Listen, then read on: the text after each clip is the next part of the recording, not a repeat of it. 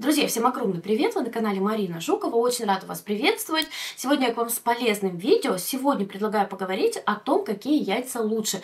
На что обратить внимание при покупке яиц, чтобы они были вкусные и, самое главное, полезные.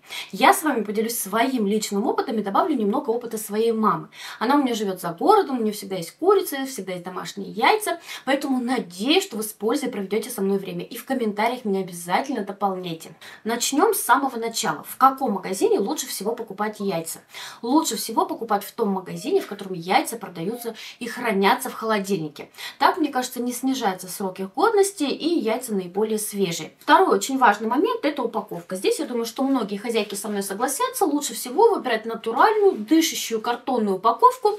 Практически не покупаю яйца вот в таком вот пластике, особенно если яйца в такой пластиковой упаковке хранятся без холодильника. Мне кажется, бактерии в таком пластике размножаются очень быстро быстро, поэтому таких вот неприятных упаковок стараюсь избегать. В магазине обязательно открываю упаковку и проверяю скорлупу яиц.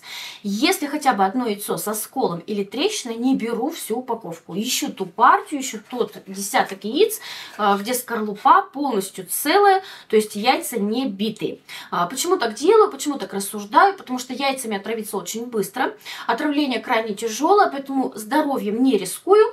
А, знаю, что если одно яйцо треснутое и если еще нарушаются условия хранения, то вся инфекция распространяется очень быстро и распространяется по близлежащим яйцам. Поэтому беру только яйца с целой скорлупой. Дальше обращаю на категорию яиц. Чаще всего в магазинах яйца продаются либо диетические, либо столовые. Диетическими яйца являются первые 7 дней после того, как их э, снесла несушка. И у диетических яиц неподвижный желток. Считается, что эти яйца самые свежие, самые вкусные, в них наибольшее количество витаминов. Но если честно, друзья, диетические яйца я практически не покупаю и редко вижу их в продаже. А, чаще всего беру обычное столовое яйцо.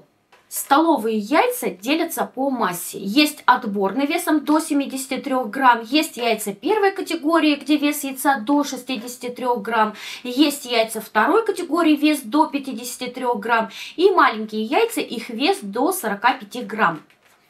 Как я вам уже сказала, я стараюсь не покупать слишком мелкие и слишком крупные яйца. Я чаще всего покупаю яйца первой и второй категории.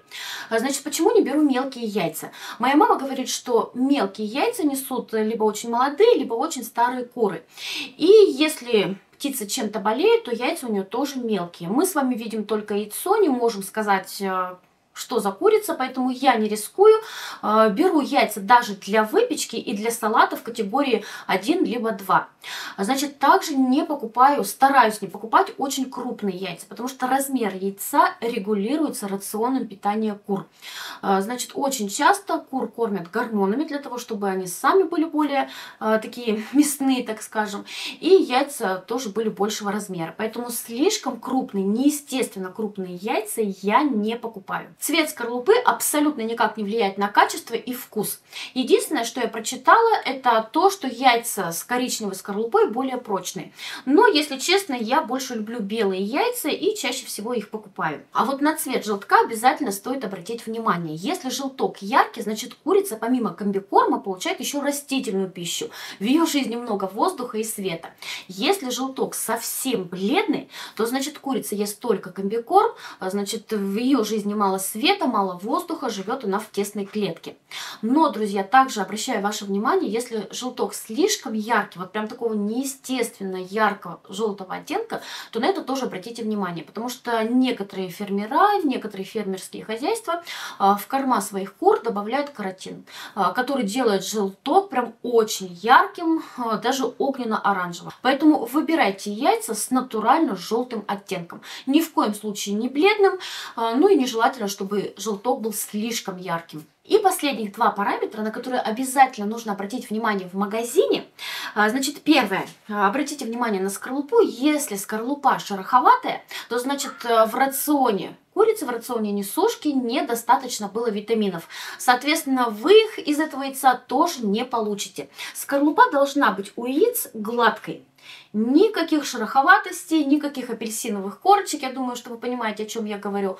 А, гладкая, естественная скорлупа.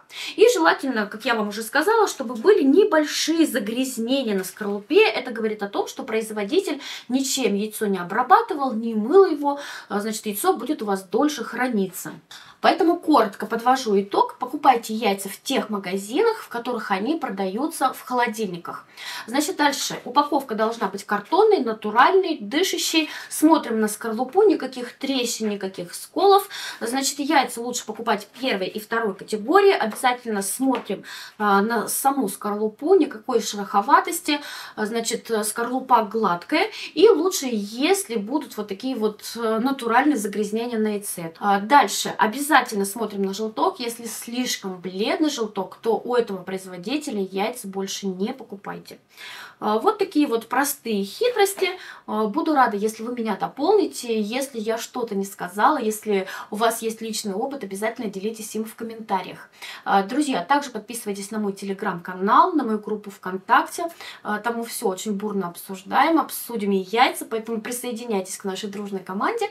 Все ссылочки, где подписаться, я оставлю под видео. Всего вам огромное спасибо за просмотр. Всем пока!